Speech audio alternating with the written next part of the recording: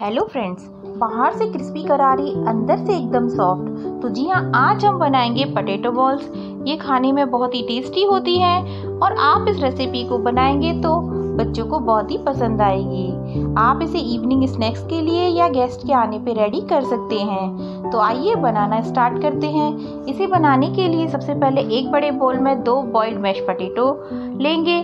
Four tablespoon हम इसमें cornflour add करेंगे।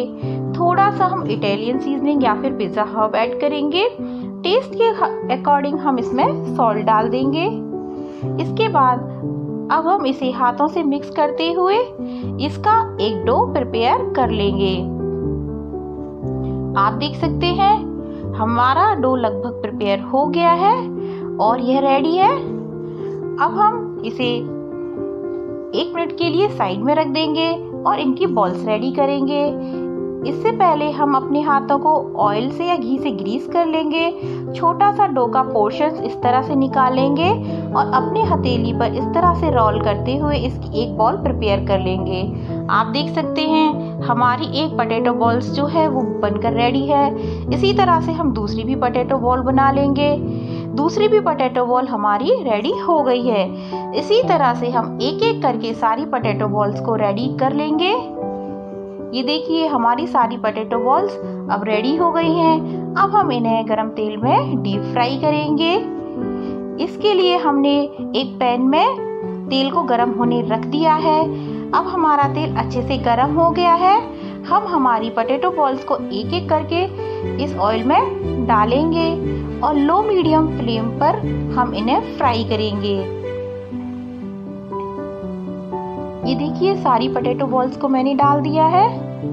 और इन्हें हम उलट पलट करते हुए तब तक फ्राई करेंगे जब तक कि ये गोल्डन ब्राउन या फिर क्रिस्पी करारे नहीं हो जाती।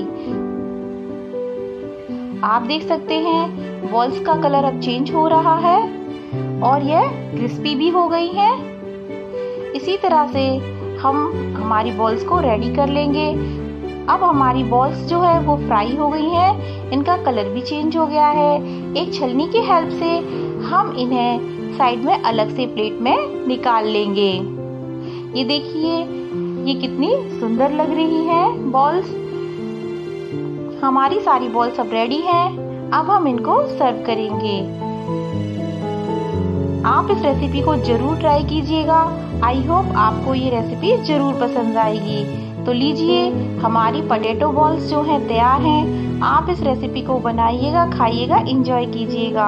आपको ये रेसिपी यदि अच्छी लगे तो मेरी वीडियो को लाइक कीजिएगा चैनल को सब्सक्राइब कीजिएगा और इसे शेयर करना ना भूलें। फिर मिलते हैं नई रेसिपी के साथ में। Thank you for watching